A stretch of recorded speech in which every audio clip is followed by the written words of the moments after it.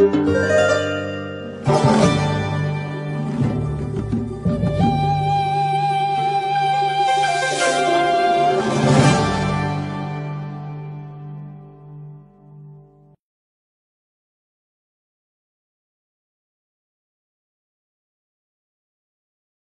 روز قدس در پیشه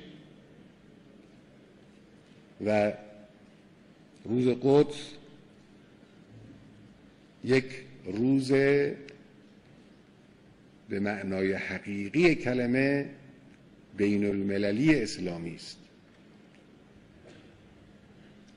روزی است که ملت ایران می تواند با کمک ملت های مشتاق دیگر که امروز خوشبختانه تعدادشون هم متعدد شده و زیاد شده می‌توانه یک حرف حقی رو فریاد کنه که برای پنهان کردن اون حرف حق و خاموش کردن اون فریاد 60 سال داره دستگاه استکبار سرمایه گذاری می‌کنه.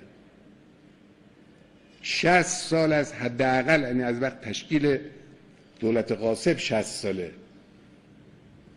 ولا از مقدماتش شاید 100 سالم بیشتره. دارن سعی می‌کنن فلسطین رو از نقشه جغرافیای جهانی حذف کنن. تا حدود زیادی هم موفق شده بودن. انقلاب اسلامی زد تو دهن اینها. ایجاد نظام جمهوری اسلامی و اعلان روز قدس و تبدیل سفارت رژیم قاسب به سفارت فلسطین در تهران. اون حرکت هشدار دهنده و متوقف کننده و مهاجمی بود که در مقابل این نقشه استکباری ایستاد. امروز خوشبختانه روز, روز توسعه پیدا کرده. روز قدس پشتوانه امنیت کشور ما هم هست. این همه آهاد مردم عزیز ما بدونن هر یک نفری که روز قدس میاد توی خیابان به سهم خود داره به امنیت کشور و امنیت ملت و حفظ دستاوردهای انقلابش داره کمک می‌کنه.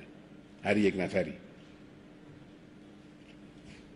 روز قدس روز بزرگی است روز مهمی است. انشاءالله امسال هم در کشور ما و هم در کشورهای اسلامی دیگر با عظمتتر از همیشه برگزار خواهد شد.